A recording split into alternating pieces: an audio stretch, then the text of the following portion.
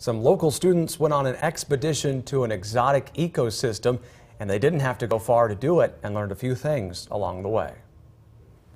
These third graders at Topeka Collegiate are opening the door to a whole new world. The students created their own rainforest, complete with things like turtles, snakes, gorillas, and even butterflies. Me and the rest of the class got to put down the mulch, set the plants, put down our animals. The creatures were crafted by students and their families, but the work you see here came after hard work in the classroom. In the lead up, we start reading about the rainforest. Um, they start picking animals they'd like to research. They'll write a research paper, they'll create the animal, they share facts about the animal. Um, ultimately, the goal is to teach them that the rainforest is disappearing and it's up to us to save it. But it wasn't just for the benefit of the students. Over the course of a week, the third graders led tours through their rainforest to tell others about what they'd learned. This is the Fer-de-lance. The Fer-de-lance is a very fast and aggressive snake.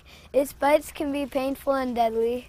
Each tour you do, it's one more time that one more person knows not to like buy mahogany furniture, um, save the rainforest, don't kill animals, and it just helps the rainforest more and more and more.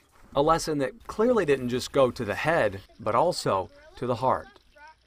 And the rainforest is a yearly tradition for third graders at Topeka Collegiate. One parent even went through the tour with their student and then ended up donating to conservation of the rainforest in the student's name. So that was pretty cool. But really the idea is to get them learning and presenting in a way that, uh, that, that uses all kinds of skills. Yeah, and I think it's a, it, like you mentioned at the end, it what didn't just go to the head, it went to the heart because that's something that's going to stick with them through life. You know, they'll yeah. always maybe think of that. So good lesson learned there. Clearly some passion built in there for sure.